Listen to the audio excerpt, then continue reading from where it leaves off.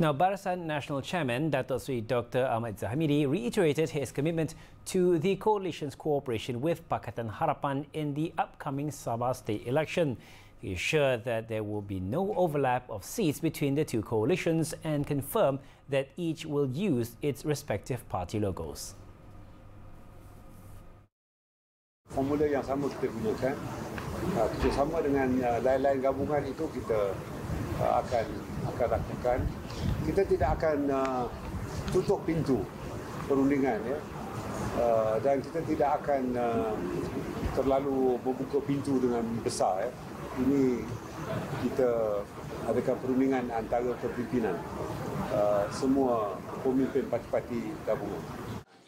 In a press conference after attending the Sarawak State Development Project implementation briefing on Sunday, Ahmad Zaid, who is also Deputy Prime Minister, insisted that statements representing BN and PH must come from the coalition's top leadership and not from any party leader.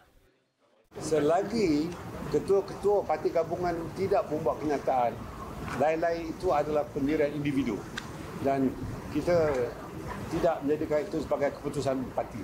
Ya, itu itu pendapat ya dan kita telah uh, selesaikan itu di peringkat parti masing-masing.